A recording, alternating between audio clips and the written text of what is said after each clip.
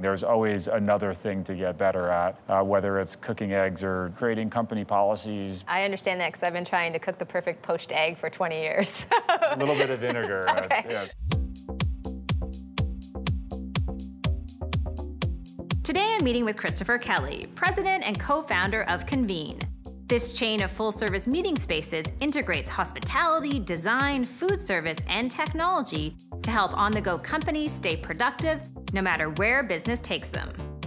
What's the story behind Convene? How did you come up with the idea? My partner and I, when we entered the workforce, we were kind of almost confused as to why it looked so different than what we would build. Convene is taking services that would traditionally be found inside of a full service hotel, and we're introducing those into commercial workplaces and offices to transform uh, what it means to, to work in the modern economy.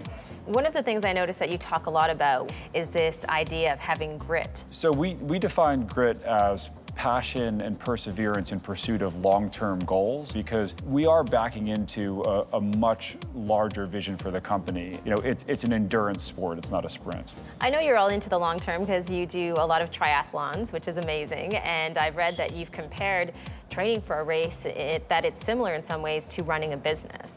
It- It's very similar. I I think that if you're disciplined and deliberate in the way that you spend your time, then uh, that produces good results. And you know, the, the reason why I do the races is really just to keep me disciplined and on track with my training. It's the journey. It's the journey to get there, yeah. So training sounds a little bit like working, but you're saying it's not, right? Uh, well, for me, it's you know, work hard, play hard, and, and that goes into the play hard bucket for me.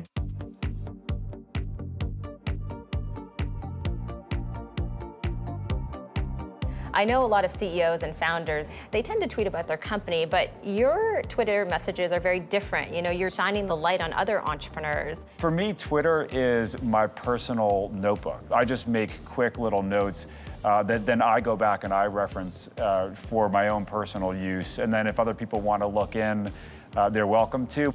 If you think back to the early days when you were starting businesses, if there were things that you could do differently, what would they be?